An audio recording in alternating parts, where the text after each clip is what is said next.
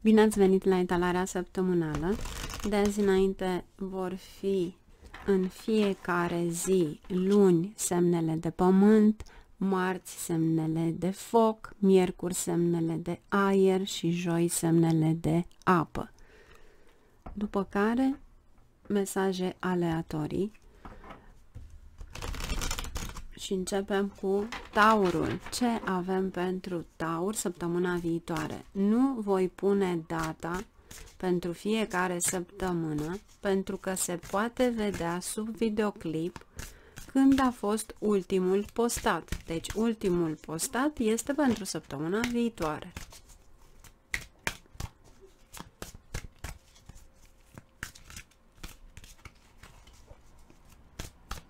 Ce avem pentru Taur? Hmm. Îmi cere să... De aceea îmi cere să le mai sbat odată. Aveți împăratul, asta înseamnă că veți lua o decizie importantă.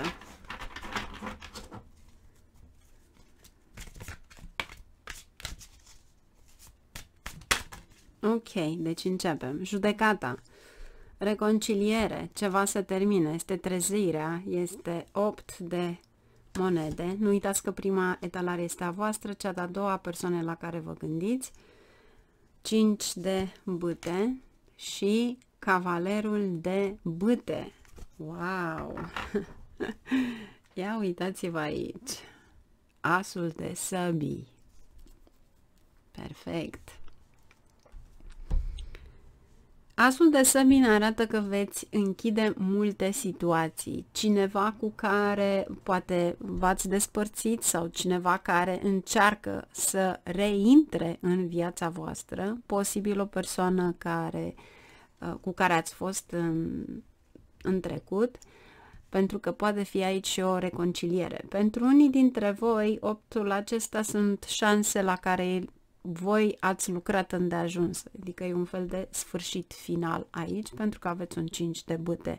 E, ați avut o discuție clară cu această persoană, dar persoana respectivă nu dorește să audă, sau mai bine zis, să um, realizeze, nu vrea să realizeze adevărul. E un fel de a auzi, dar nu a intrat de fapt în urechi. De ce? Pentru că E, e un fel de... Persoana respectivă trăiește în niște amintiri, în niște amintiri frumoase, dar nu... și este energia voastră aici, dar nu trăiește de fapt în realitate în ceea ce posibil v-a, v-a adus vouă sau v-a făcut vouă. Ce avem aici? Avem Marea Preotasă, deci cu siguranță se va întâmpla ceva, pentru că Marea Preotasă întotdeauna uh, vine cu o energie intuitivă, este de fapt cererea voastră, să-i zicem. Și faptul că voi știați de acest lucru, sau mai bine zis, um, ați încercat să folosiți cuvinte frumoase, ați încercat să o spuneți cu frumosul, dar aici ați spus și adevărul. Și um, atunci când am judecata, întotdeauna va trebui să lăsați ceva pentru unii dintre voi poate fi ceva toxic, un gunoiul acela care îl simțiți, greutatea aceea pe care o simțiți. Iar Marea Preotasă vine cu decizia gândirii de a merge mai departe. 8 de monede, 4 de monede. Deci, pur și simplu ați fost blocați. Unii dintre voi ați fost blocați. 5 de bute. Aici avem de-a face cu echilibrul și poate fi un săgetător. Este cineva căruia nu îi place ceea ce îi se spune, nu se poate revolta, dar în același timp simte acel uh, uh, acea ură, să zicem, sau gelozie, spuneți cum vreți. Cavalerul de bute 10 de cupe. Persoana respectivă a încercat să vă vorbească sau să vă spună că întotdeauna și-a dorit o familie, dar de fapt, ca un cavaler, el a fost un uh, turist în casă. Pentru unii dintre voi. Bineînțeles, este o etalare generală, deci să nu uitați lucrul acesta. Și e posibil să nu fie valabilă pentru toată lumea. Și este valabil, dacă este valabil pentru ascendent, lună, soare în taur. Deci, pentru mine întotdeauna acest cavaler este cineva care îi place să vină, să plece, să călătorească, să facă, dar să nu aibă prea multe responsabilități. E un fel de a te lăuda cu familia ta, dar de fapt nu a, fa- a face nimic în, prin a păstra acel lucru. Iar asul este decizia pe care voi trebuie să o, să o luați aici.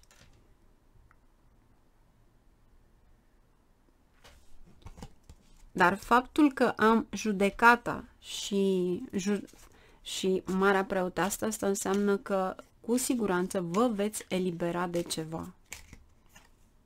Uitați. Vă eliberați. E un fel de în sfârșit. Gata, s-a terminat. Este o decizie extraordinar de importantă. Și e posibil să fie pe marți, pentru că aveți Marte, turnul, care este pagi, pajul de spate. Deci veți afla o informație despre ce este vorba Pajul de monede. Pentru unii dintre voi chiar este o discuție față în față, este posibil să fiți în fața unei, unui judecător. Pentru unii poate fi ceva, un adevăr care supără și asta duce la terminarea relației. Asul de monede. Vedeți? Această persoană niciodată nu a fost, nu ați avut uh, încredere în persoana respectivă. Haideți să vedem ce vrea să ne spună Universul, ce ne dă Universul pentru viitorul vostru, dacă există o altă persoană în viața voastră, pentru că aici cu siguranță se termină ceva pentru unii dintre voi. Chiar dacă nu este exact în față în față sau în realitate, în, această săptămână pentru voi deja este terminat acest... Este o relație toxică. Spuneți-mi ce vreți, dar este o relație toxică.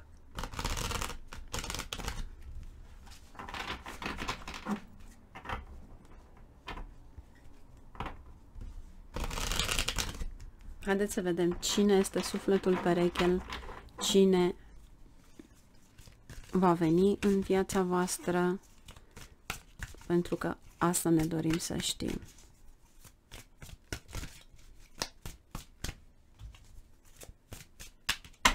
Ups! Deci nu v-ați hotărât încă. Pentru unii dintre voi. Wow! Împărăteasa! Persoana care va veni în viața voastră vă vede ca pe o împărăteasă. Este una dintre cele mai bune cărți integritate, frumusețe, grație. 3 de săbii. Apare după ce ați plecat. Vedeți că întoarceți spatele la tot ceea ce a fost pentru voi toxic? A fost o iubire înșelătoare, cineva care încă nu s-a decis să pur și simplu să iasă din viața voastră. Iar la bază aveți luna. Este cineva care um, v-a manipulat, de fapt. Uitați-vă și aici. Niciodată, dar niciodată nu a dat atât cât trebuie mai mult. E un fel de... Cei care au muncit, au muncit într-o relație pe toate planurile, persoana respectivă s-a eschivat, pur și simplu a încercat să vă manipuleze sau să înșele, iar aici aveți judecata. Adevărul iese la suprafață și se știe acest lucru. Se face lumină. Împărăteasa. Doamne, sunteți voi. uitați-vă și voi ce energie frumoasă aveți. Nu uitați că voi sunteți guvernați de Venus.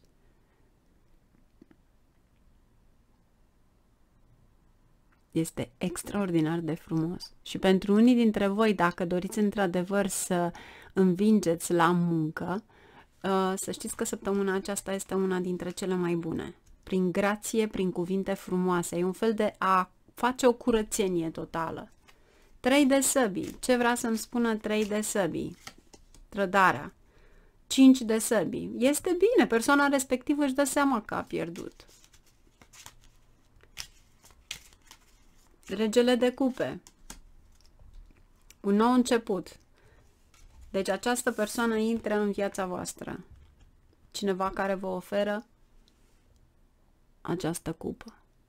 Este singurul, singurul rege care are două cupe. Un nou început. E posibil să fie rac. Da.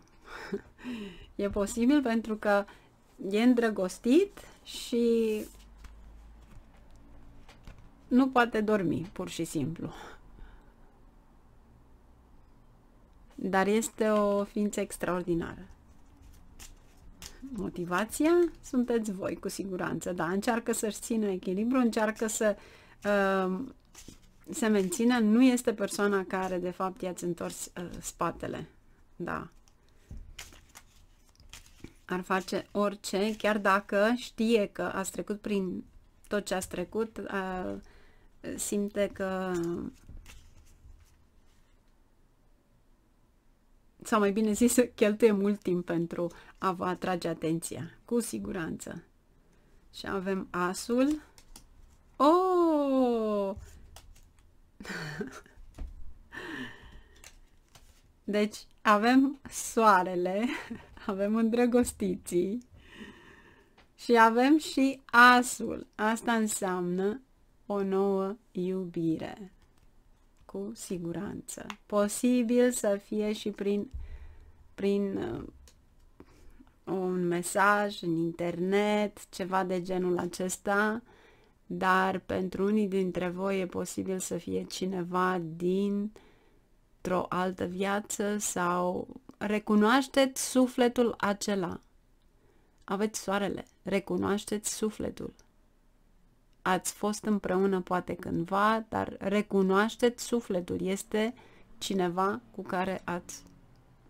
E un fel de va, a, a vă căuta unul pe celălalt. Și atunci când am cu imaginea de două ori împărăteasă, înseamnă că cu siguranță voi v-ați căutat unul pe celălalt.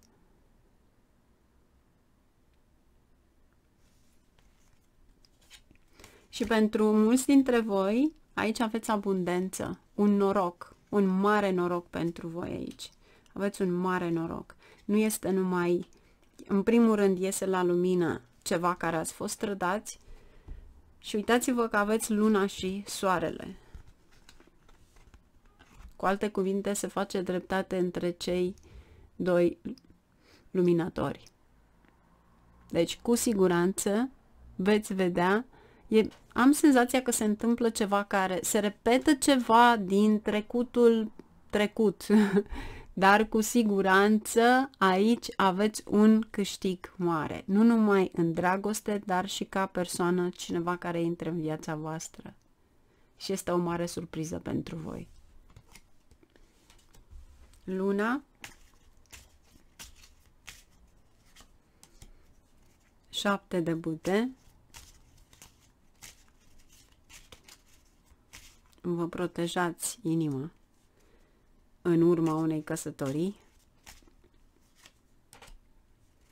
Eremitul, da, este bine să ascultați niște sfaturi. Fie de la o fecioară, fie cineva care este cu o religie diferită. Este ca și cum ai spune, fie de la un grec, fie de la un persian. Ehm, deci, veți vedea singuri. Dar cred că are o nuanță foarte frumoasă aici uh, și a unei uh, prietenii. pentru că sunt aproape la același rang. E un fel de a îmbina în prietenia respectivă și pentru unii dintre voi am senzația că uh, cunoașteți atât de bine persoana respectivă în momentul în care sunteți față în față, încât uh, uh, este ca și cum ați fi fost cei mai buni prieteni, dar de fapt cei mai buni prieteni deveniți uh, și cei mai buni iubiți. O veți vedea singur pe parcurs, bineînțeles, dar asta mi se dă ca imagine. Și vom vedea ce nou început aveți voi. Și mă bucur pentru voi. Mulțumesc pentru mesajele trimise, mulțumesc pentru toate lacurile pe care mi le-ați trimis, să știți că aproape pe toate le-am făcut. Uh, nu mai am acea tuse puternică, o am, dar m-a ajutat foarte mult și vă mulțumesc din toată inima. Vă mulțumesc că v-ați rugat pentru mine. La revedere, numai bine!